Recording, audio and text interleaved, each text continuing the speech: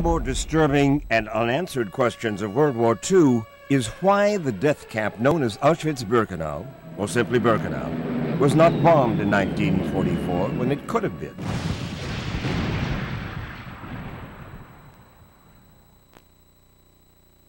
We couldn't understand how people, the Germans, and all their uh, friends, the collaborators, could kill people and nobody is helping us. At the height of the war, the Nazis, using the worst killing machine in history, were gassing and cremating over 10,000 people a day. By 1944, it is estimated that close to 1 million people had been murdered in Auschwitz-Birkenau. Considering the vast bombing campaign in Europe, could Allied forces have directed any of their air power to the destruction of the crematoria at Birkenau or to the rail lines leading to the camp? More important, should they have? What prevented the Allies, and especially the Americans, from responding to this evil? Was it a lack of understanding, military resources, indifference, or willful evasion? Would such a military diversion have affected the war effort in any appreciable way? To answer these questions, we must begin by examining what the Allies knew about the ongoing genocide and when they learned of the existence of gas chambers and crematoria at Birkenau death camp. The Allies at the very top knew. There's no ifs, ands, and buts about it. And all of those people who have been pretending uh, that uh, Roosevelt or Churchill were up in some airy where they looked down upon the grand picture of the war and didn't know about this are simply lying.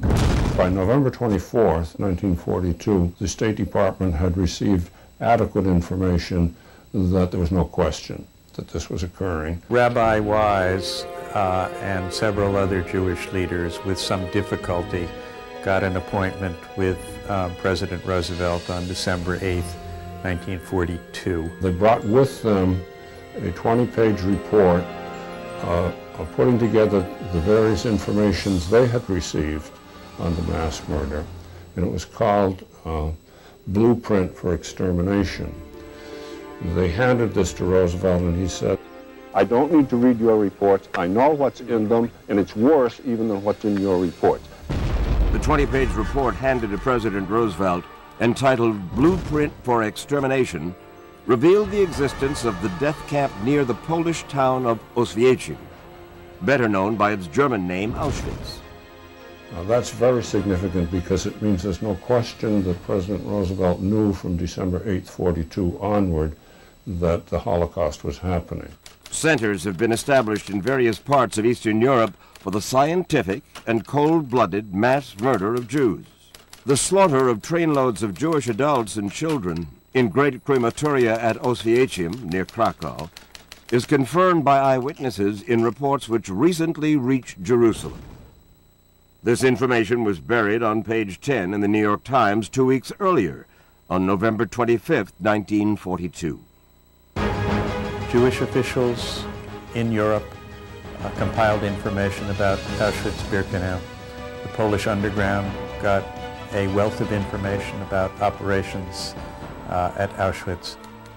From eyewitnesses and Ultra, the British code-breaking operation, the Allies actually had information on some of the crematoria before they were even completed. During 1942, the British intercepted decodes. The coding was done by the sophisticated German Enigma machine, which the SS and the concentration camp hierarchy used. I have seen uh, some decodes indicating the construction of a huge crematorium at Birkenau, so there was some information available from decodes directly. The killings at Auschwitz and Birkenau were not a secret to the West. On August 27, 1943, reacting to new reports of transports of Jews being killed in gas cells at Auschwitz, the chairman of the British Joint Intelligence Committee, William Cavendish Bentinck, wrote, The Poles, and to a far greater extent the Jews, tend to exaggerate German atrocities in order to stoke us up. Incredibly, Cavendish Bentinck's dismissal of the facts came eight months after the Allied declaration of December 17, 1942, condemning the German government's intention to exterminate the Jewish people in Europe and denouncing in the strongest possible terms the bestial policy of cold-blooded extermination. The Allied statement of December 17, 1942, in which the British and American governments and other Allied governments for the first time recognized formally a Nazi policy of extermination of the Jewish people. First, clear-cut recognition and uh, public expression by the Allied powers that the Jews were being mass murdered.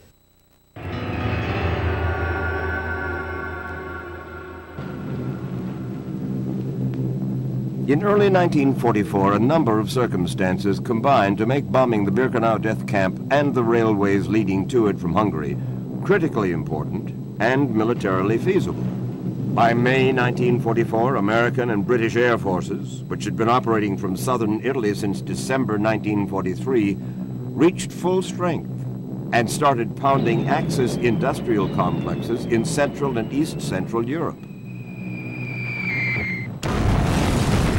For the first time, Allied bombers could strike Auschwitz, located in the southwestern corner of Poland. The rail lines to Auschwitz from Hungary were also within range.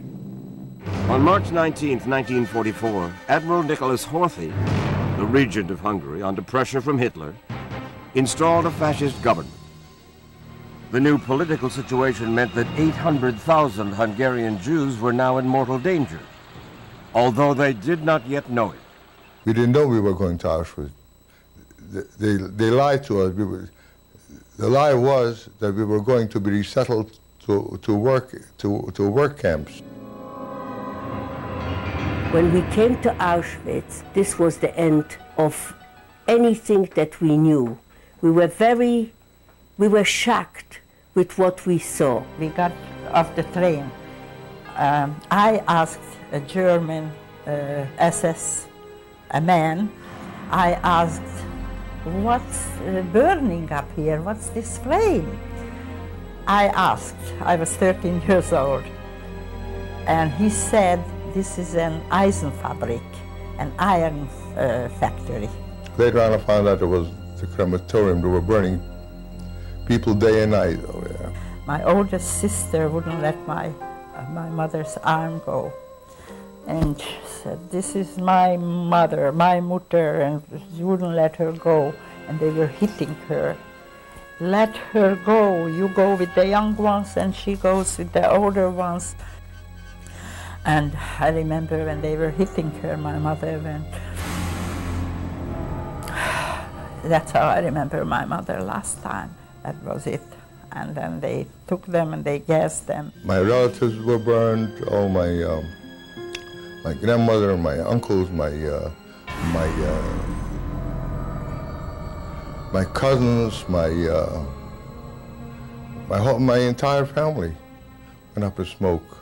All our people, all every woman in this camp, wherever I was, was waiting for the Allies to bomb, even if we would die. The Polish underground managed to get a number of people close to the uh, camps at Auschwitz and Birkenau. And some of those agents and informants came out with very detailed accounts of how many people, how many prisoners had been brought into the camps, what methods of uh, killing and torture were being used in the camps. On March 21, 1944, two days after the fascists took power in Hungary, the Washington Post published a report from the Polish government in exile in London stating Poles report Nazis slayed 10,000 daily. The report confirmed that more than 500,000 persons, mostly Jews, had been put to death at a concentration camp at Oswiecim, southwest of Krakow. The report also stated that three crematoria had been erected inside the camp to dispose of 10,000 bodies a day. There were two errors in the report. There was a fourth crematorium, and by March 1944, it is estimated that close to a million Jews had already been killed at Birkenau. On March 24, 1944, five days after the Nazis installed a puppet government in Hungary, President Roosevelt spoke in a press conference. What he said was reported on the front page of the New York Times. In one of the blackest crimes of all history, the wholesale, systematic murder of the Jews of Europe goes on unabated every hour. He acknowledged that the Jews in Hungary are now threatened with annihilation. All who knowingly take part in the deportation of Jews to their death in Poland are equally guilty with the executioner. This was two months before they were deported to the death camp. In the seven weeks between May 15th and July 7th, 1944, 440,000 of these Hungarian Jews were killed in Birkenau.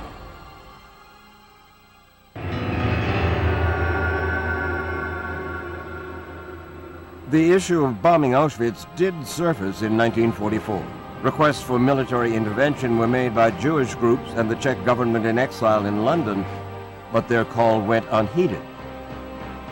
What could have been the Allied justification at that time for not taking any action? The response to, to the request to bomb Auschwitz and all, it comes back from the, from the Americans is that we're trying to end the war as soon as possible. By ending the war as soon as possible, we end it for everyone sooner and we save everyone's lives. Roosevelt's consistent answer to the Jewish leaders was the way to save the Jews is to win this war as quickly as possible. And anything that stood in the way of winning this war, including any effort to try to stop the Holocaust, would be counterproductive. In response to requests for military intervention in June 1944, the Operations Division of the United States War Department, OPD, ruled against the proposed bombing, stating that the suggestion was impracticable because it could be executed only by diversion of considerable air support, essential to the success of our forces now engaged in decisive operations. This language was adapted by United States Assistant Secretary of War John J. McCloy in his July 4, 1944 response to a request for military action. On August 14th, in response to yet another bombing request, McCloy again restated OPD's rejection. He added that after a study it became apparent that not only was such an operation a diversion from decisive operations elsewhere, but that it was of such doubtful efficacy that it did not warrant the use of our resources. There was no such study. The study's been hunted for. There is no such study in the file. Assistant Secretary of State McCloy said no, we're not going to get into this. There was no detailed investigation of the logistical feasibility of such a raid. To date, no historian has uncovered any such study. McCloy seemed to cut things off. There was nobody above McCloy who restarted them. The most logical place to have conducted such a probe into how Birkenau could have been bombed would have been in the Mediterranean theater of operations, the closest Allied air bases. This was never done. General Ira Eaker, the theater commander of Allied air forces in the Mediterranean, was not consulted on the issue. In a letter dated April 11, 1977, General Eaker wrote, I do not recall that General Spaatz inquired of me as Mediterranean Allied Air Forces commander regarding the feasibility of bombing the Auschwitz camp. I was not aware at that time of any mass killings at the Auschwitz camp. To the best of my memory, no one ever suggested that the 15th Air Force or any other unit under my command engage in bombing any of these camps. If a study had been conducted, it would have revealed that Allied intelligence personnel at the operational level in Italy knew of the location of what they believed to be a large slave labor camp. They were unaware it was a death camp. Information at the top had not filtered down. This target chart, given to air crews for the August 20th and September 13th Allied raids on the IG Farben oil plant, shows both Birkenau and the oil plant five miles away. In fact, air crews on missions to bomb the oil plant were briefed to avoid hitting the camp area. On our mission briefing, when we bombed the area near at Auschwitz, we were specifically warned to avoid the slave labor camp. We, we wanted to avoid hitting the camp because had we hit it, we would have killed what we thought would be many innocent people.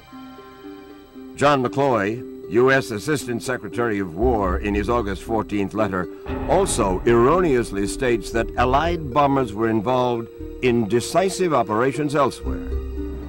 As part of the American and British plan to destroy German oil plants, the area around Auschwitz was literally a hotbed of Allied bombing at the time of McCloy's letter. Nearby oil plants at Trzebinia, Czechowitz, Blechhammer, Odertal, Bohumin, Drohobitz, and Moravska Ostrava were all hit in August. The IG Farben oil plant at Auschwitz was hit on August 20th just one week after McCloy wrote about decisive operations elsewhere. 126 American heavy bombers struck Auschwitz. While elsewhere, how far away? Elsewhere, five miles to those gas chambers.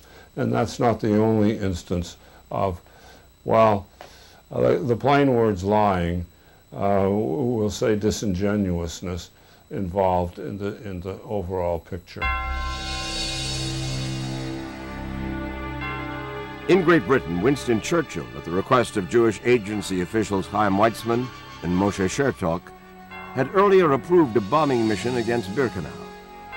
In a memo to Foreign Secretary Anthony Eden, dated July 7, 1944, Churchill wrote, Get anything out of the Air Force you can and invoke me if necessary. The implementation of the mission fell to Norman H. Bottomley, the British Deputy Chief of the Air Staff.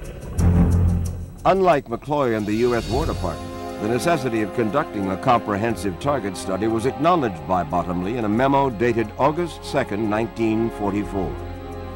Bottomley wrote, I have discussed this subject with General Spaatz, who is most sympathetic. Before we can consider any action, however, it is necessary to know more about the precise location, extent, and nature of the camps and installations at Birkenau it is particularly necessary to have some photographic cover. The response came the next day from William Cavendish Bentinck, the same intelligence official who in August 1943 wrote that reports of German atrocities had been exaggerated. He wrote that unless the air staff can be given an exact pinpoint of this camp, the airmen will experience difficulty in finding it. What he said was simply not true. From our altitude of 25 to 30,000 feet, if we were asked to locate a large installation, it wouldn't be difficult to do. And even if we weren't sure of it, we would take pictures. We had enough film to take pictures and targets of opportunity. The idea that uh, uh, the, uh, the air crews were not accustomed to looking for uh, unique signatures uh, on the ground, uh, that, that's preposterous. If we had for example, been told that it was in this area, we would have photographed the area. The reconnaissance planes would take photographs in sequence in a run, and it would go back and forth several times. So you covered, with the six-inch fo focal length, 72 square miles in each print, you covered a lot of ground.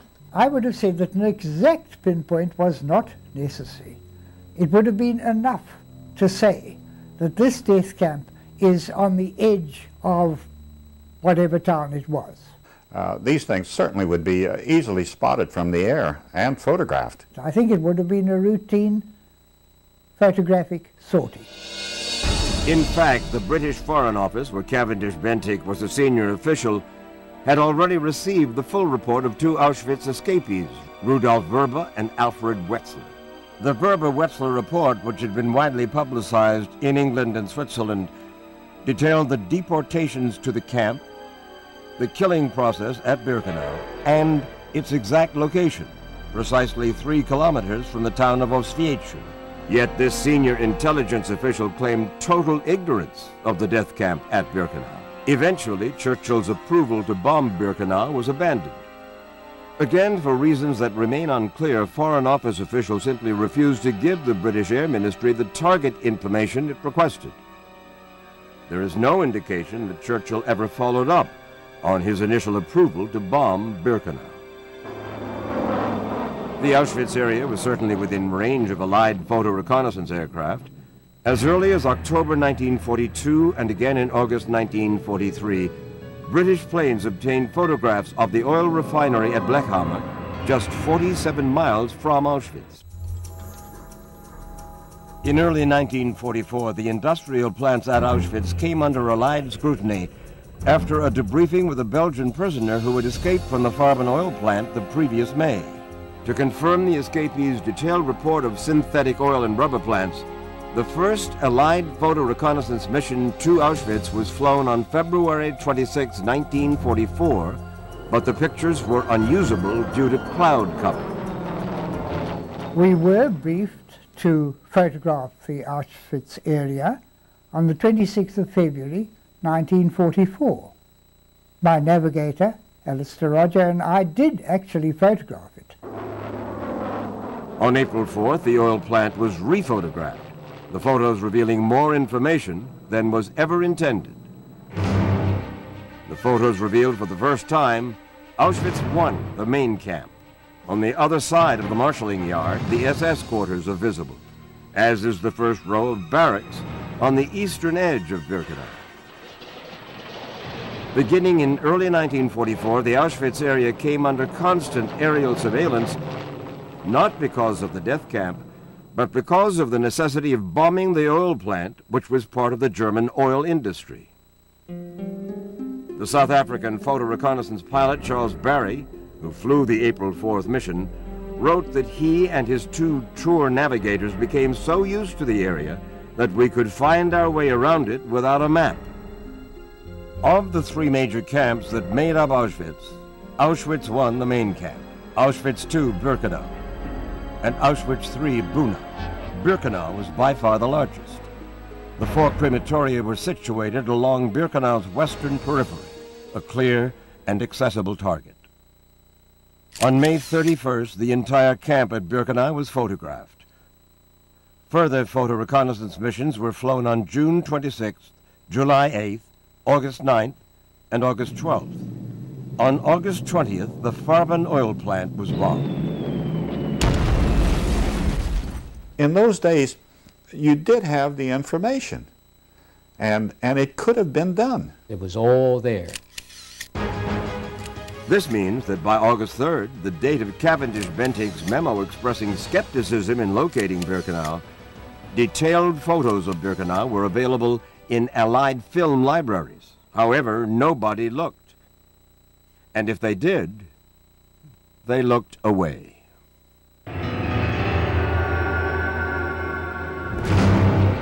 Having possession of such photos was a preliminary step. The more critical question was, would it have been possible to locate Birkenau and to pinpoint the exact location of the four crematoria within the camp? The Auschwitz-Birkenau uh, area was, was an enormous uh, place. It wasn't small, and uh, that could have been easily spotted from the air. Any trained interpreter who uh, is told what to look for or told about the existence of such a camp would find immediately, it wouldn't take him 15 seconds. You use a stereoscope, uh, you use two prints. There was overlap. You take the two prints and put them down, and then you look through this stereoscope. It would uh, fuse the images, and you would see it in, in 3D. So if you were looking for, uh, uh, for smokestacks, uh, those, those snap out uh, real easily while you're doing the, uh, the search area.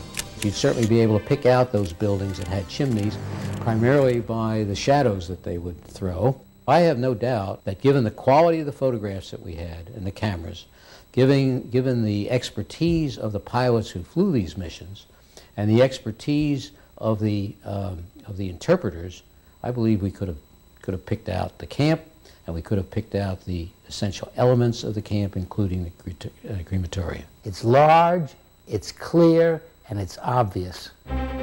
By August 3rd, there was enough intelligence about Birkenau, as well as high-quality aerial photographs, to have precisely located the camp and the four crematoria. The feeling was, well, you had a bunch of inexperienced photo interpreters and all that. That's a lot of poppycock. By the time, in 1944, we were far advanced in, in terms of our abilities. uh, to look at photographs and to extract information. Judging from the ingenuity that the staff planners had in the Air Forces, the British, the Americans, the French, uh, I believe that if given the task, they would have found a way to do it. All they had to do was to say, hey, look, we have, uh, we've got some information that something bad is going on in this area, that people are being killed, and uh, could you, would you look and see if you could find it? And I, even with my, my pr primitive knowledge at that time, I would have found it. There was enough information available uh, by the end of 1942 and certainly during 1943 that um, the Allied governments could have begun to plan for doing something to stop the killing. The tragedy is that there was enough information to provide a target study months prior to the start of the Hungarian deportations in May 1944.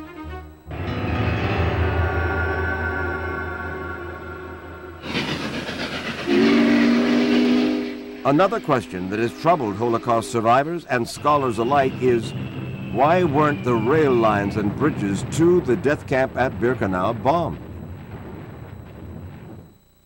This is how they packed us in to the trains. It was crowded. People didn't have any place to even breathe.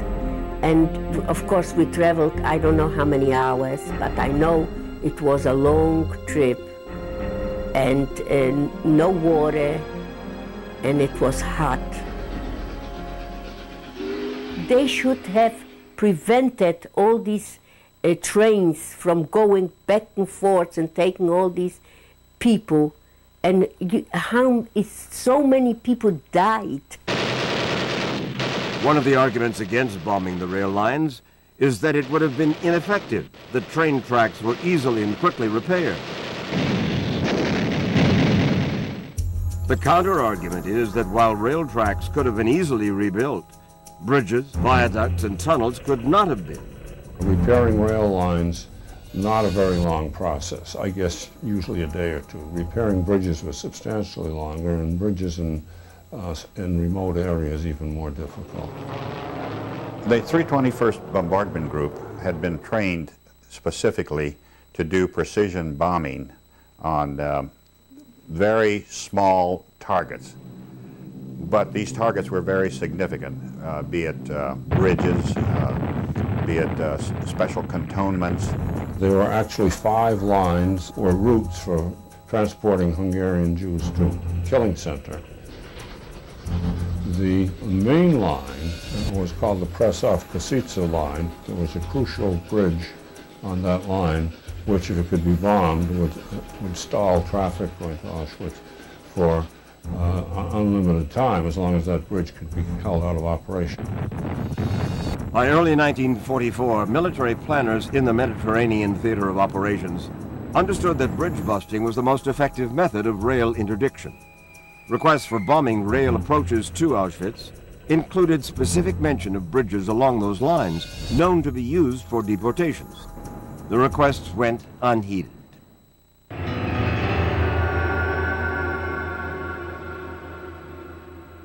Attacking the killing facilities directly was the other military option available to the Allies. What were the operational constraints to destroying the gas chambers and crematoria, and could they be overcome? One of the obstacles was enemy air defenses, which consisted mainly of anti-aircraft guns, smoke screens, and fighter planes. But by the middle of 1944, the German Air Force had been so weakened, it was forced to carefully pick and choose its battles. And on those occasions, when they elected to fight, the Luftwaffe faced Allied air forces that were qualitatively and quantitatively superior. In the Mediterranean theater, by the summer of 1944, uh, air-to-air or aerial opposition is virtually nil. The enemy aircraft had been had dwindled down considerably. Most of the aircraft, enemy aircraft, were unavailable or, or not around because the Germans had a fuel shortage.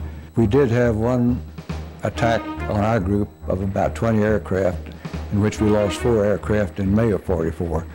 But after that, outside of one mission to uh, Vienna, we saw very few enemy aircraft. The Germans had concentrated most of their fighter defenses in, in Germany itself. In fact, Allied bombers striking at the oil plant at Auschwitz on August 20th and September 13th encountered only token fighter resistance. On the August 20th raid, Allied planes faced 79 heavy anti-aircraft guns, 50 of which had only recently been deployed, yet they lost only one bomber out of 127 aircraft. On the September 13th mission, only three planes were lost out of 96 bombers. In both cases, the loss rate was below the average for the 15th Air Force. Another defense against bombers was smoke screens. If the Germans have enough advance warning, the Germans know where the target is, and if they have smoke projectors, the, the target may well be covered in smoke, even if it's a clear day, which will be a, a technical problem for, for bombing accuracy. Here, for example, German smoke pots obscure the oil plant at Auschwitz. However, in the aerial photographs of Birkenau taken during the August 20th and September 13th bombing missions, there were no operating smoke pots defending the death camp and the smoke screens for the nearby oil plant did not affect Birkenau at all. This clear visibility is evident in one of the more remarkable combat photographs of World War II on the September 13th mission to Auschwitz. Allied bombs are seen here directly over the crematoria as they drop toward the target. Not Birkenau, but the Farben oil plant five miles away. When these bombers started, of course, the first idea that people had was let them hit the crematoria, let them stop what was going on, let them stop the burnings. Suddenly we looked up, we saw the sky was, was the entire sky was like a big mirror.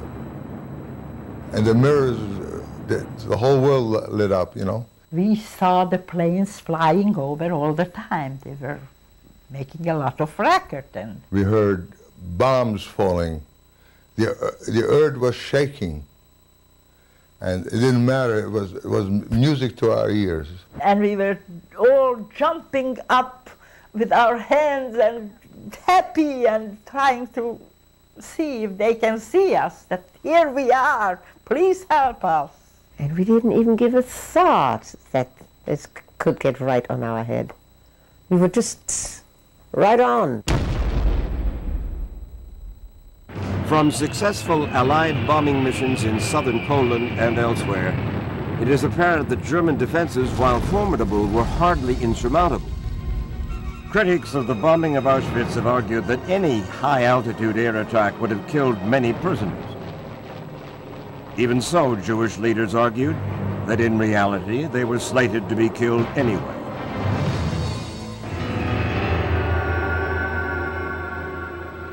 Could the four large crematoria have been destroyed with minimal collateral damage to nearby barracks?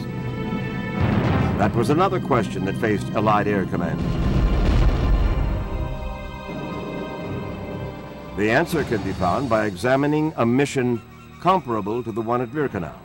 An apt model for such a raid was the August 24, 1944 attack on a group of factories adjacent to the Buchenwald concentration camp near Weimar, Germany. I was the aircraft commander of the 401st Group during that mission.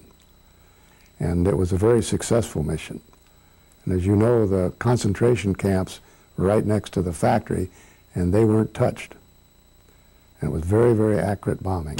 In order to avoid hitting the concentration camp and killing inmates, air crews were briefed to bomb only under optimal conditions. The briefing on the Weimar mission, that the intelligence officer stressed that there were uh, presumed to be a concentration camp next to the factory, and that we were to make every effort for precision bombing right on the target and in the confines of the target only. We can see the first groups of bombs dropped from 24,000 feet score direct hits on the factory area.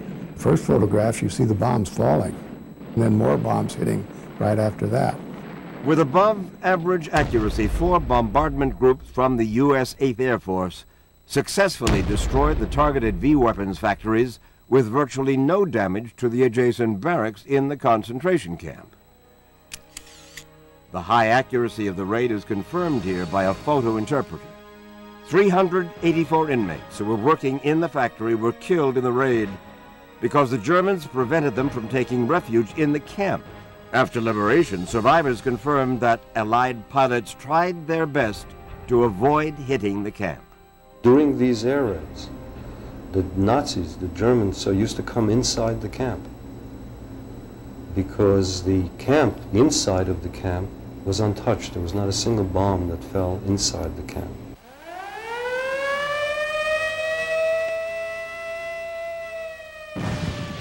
Despite the possibility of killing thousands of nearby innocent inmates, Air Force commanders were confident that they could destroy this factory in the heart of Germany and willingly risk doing so. They come in on, on, a, on a V weapons plant outside of Buchenwald. It has to be hit for political reasons. You can make the argument that it was a waste of time and resources to concentrate on stopping the V-1 and V-2 rockets and jets from flying against England. Is, uh, violently protests as much as he can as long as he can about having to bomb V-weapons, which are a diversion of force from the main strategic effort. V-weapon components are a very high political target with the British government. What it illustrates is that if they have to bomb a political target, they will do it if they're ordered to, despite whatever the risk, whatever the risk to the, to the surrounding territory. There is no evidence to suggest they could not have done the same at Birkenau. It's a question of what you feel really strongly about and if people had felt very strongly about destroying the death camps, then I think that could have been managed. In terms of accuracy and, and bombing, again, the crematoriums, yes, you could do it with B-17s from 25,000 feet on a clear day. There's no question that they had the capability to bomb uh, Birkenau. The four crematoria at Birkenau, as was the case with the Buchenwald factories, were built adjacent to nearby barracks. Projected bomb patterns indicate that most bombs would have fallen away from the barracks area. To mitigate the possibility of collateral damage, operational planners could have utilized B-25 medium bombers, which were more accurate. Although bombing from lower altitudes would appear to put them at greater risk from anti-aircraft guns, their maneuverability and shorter bomb runs made them harder to hit. The accuracy of medium bombardment was illustrated in the August 18, 1944 attack on Toulon Harbor, a raid that shared some similarities with the hypothetical raid on Birkenau. The invasion of southern France took place on August 15, 1944. The 321st uh, was called upon to take out the battleship Strasbourg and the cruiser La Galissonnière. 36 B-25s from the 321st Bombardment Group were assigned to destroy four narrow-profile targets. This required uh, precise bombing. And uh, we conducted the raid, even though we, uh, the target was heavily defended and we encountered a lot of flak. It was ringed by, best knowledge I have, is 82 anti-aircraft guns around the Toulon Harbor. Despite the extremely intense flak on the bomb run, the bombers achieved direct hits on their targets. They sank the submarine, the battleship was gutted by fires and completely disabled, and the cruiser keeled over on its side.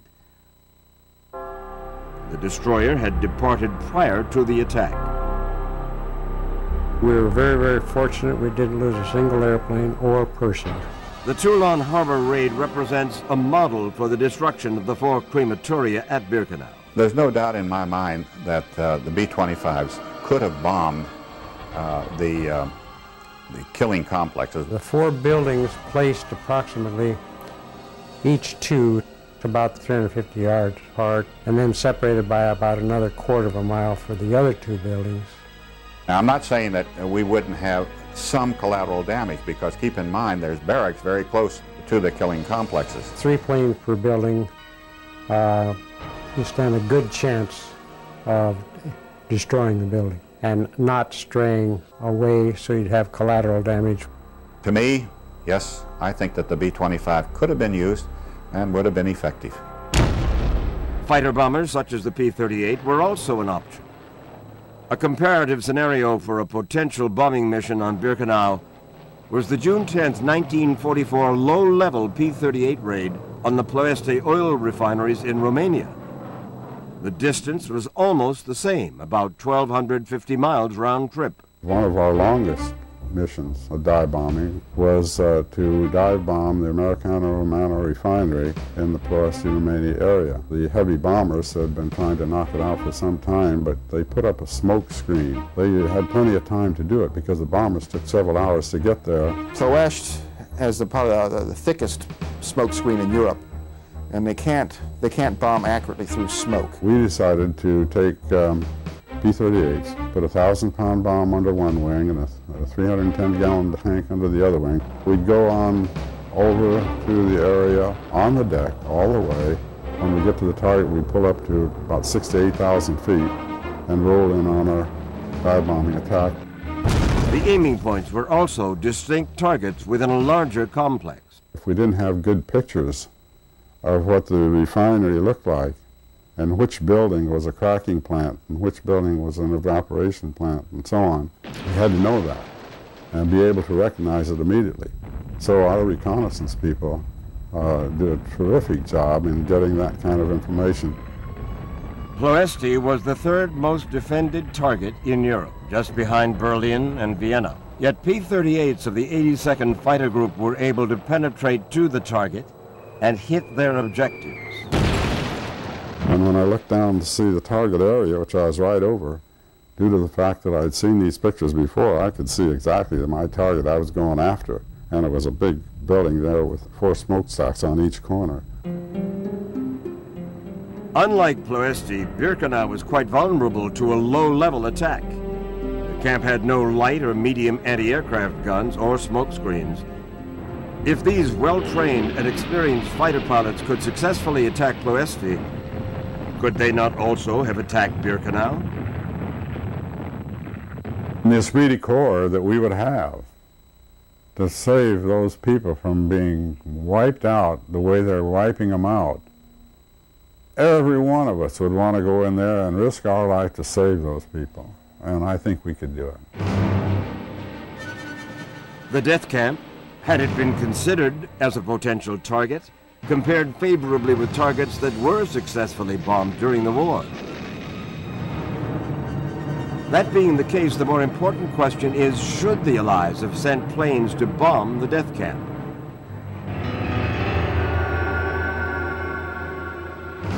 The answer to this lies not in any military feasibility assessment that the Allies never made, but rather in some determination of what constituted target priority. Spaatz and Eisenhower, yes, they had the authority to bomb any target in Europe, but we have to put them into context.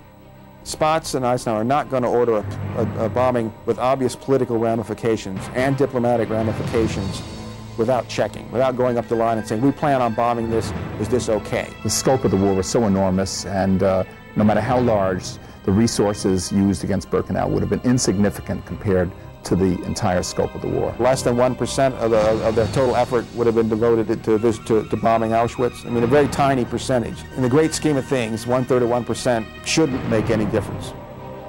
Was it incompetence, indifference, indecision, disbelief, anti-Semitism? All of these point to reasons that had more to do with the Allied mindset than its military capability. The Jewish issue was for them number six or eight on the hit parade. It wasn't at the top of their agenda. When the people in the War Department realized that they were expected to participate in some way in the question of rescue, there was a strong negative feeling. I don't believe that in the highest levels of the American government or in the Army Air Forces there was deep enough concern with that particular issue. The OPD simply looked at what's our policy on rescue. and The answer when they look in the file is no, we don't participate in rescue, and so they negative the request. The Allies had their agenda, and we were not a part of that. Take these strategic bombers and bomb something non-strategic with them, it's going to be resisted because it's a precedent. If, if we can be ordered to take bombers and bomb this thing, who knows, you know, what they're going to tell us, you know, to, to divert bombers for the next thing. But I do believe that people were telling the truth when they said that they were mainly concerned with ending the war as quickly as possible. But I think they could also have focused on the issues of the death camps if they had been deeply concerned about saving the people in those death camps, and it didn't seem to occur to them. Some military historians, however, taking their cue from official statements made during the war, make a simpler case. A death camp was not a strategic target and therefore was a diversion from the war effort. They claimed political and military leaders were not callous or heartless, but rather were determined to focus their air power strictly on winning the war. In the majority, this was true, but there were exceptions.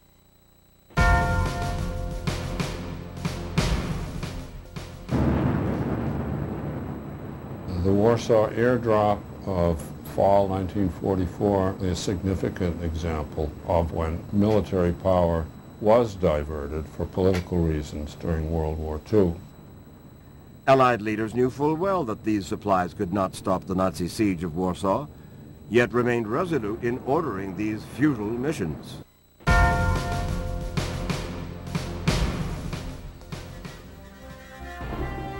In a humanitarian gesture, the British government ordered a famine relief flight in April 1944 to save 15,000 starving nomadic Bedouin in southern Arabia.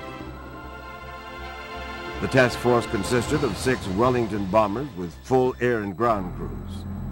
These aircraft were pulled from England just six weeks before D-Day. Why couldn't a similar humanitarian effort have been made to destroy the Birkenau gas chambers, which were killing over 10,000 people a day? In the United States War Department during the Second World War, there was a Secretary of War, Stimson, and uh, an Assistant Secretary of War, John McCloy, who had a great concern for what they called the artifacts, or what people call the artifacts of civilization. In August 1943, partially because of requests from influential individuals and institutions, the Roberts Commission was formed by an executive order of President Roosevelt. Its mission, in part, was to help preserve cultural, historic, and religious buildings of Western civilization from Allied bombing campaigns in Italy and Germany. With help from the Air Force, which was readily forthcoming, the Commission was able to save many important buildings from destruction. In the 15th Air Force, there were a lot of cultural and, and religious places in, uh, that they very carefully avoided hitting. We were uh, constrained because of so many historical buildings we were told specifically to make sure not to hit them. The United States prepared an atlas of sites in Italy that were to be, if possible, spared from bombing.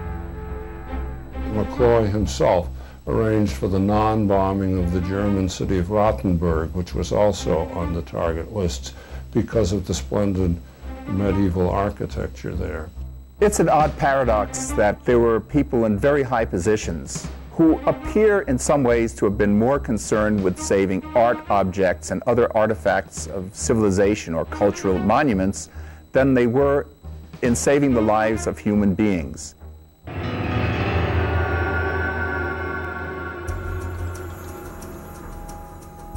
The destruction of the killing facilities might have appreciably slowed the systematic slaughter. The four large crematoria took eight months to build at the height of Nazi power. Rebuilding them in the last year of the war would have been nearly impossible. A successful bombing would have slowed down the killing operations, would have made them less efficient. In retrospect, there is no one answer to explain how could it be that the governments of the two great Western democracies knew that a place existed where 10,000 helpless human beings were being killed every day. Knew that such killings actually occurred over and over again, and yet within their effort to win the war, did not feel compelled to try and stop it. The Allies could have done a great deal more to let the Germans know that they knew what they were doing to us. At that time, the, the Germans were, were burning 10,000 men, women, and children every day, every night. That hurts. If the Allies bomb Auschwitz, this sends a statement to the Germans, we know what you're doing, we don't like it, stop it. It wouldn't have taken away from the war effort, you know. Uh, although you'll, you'll, hear, you'll hear people say that it would take away from the war effort, those are uh, phony baloney excuses, you know. One has to wonder why there couldn't have been the slightest little diversion. No, there's no voice for the Jews in, in, in, uh, Allied headquarters.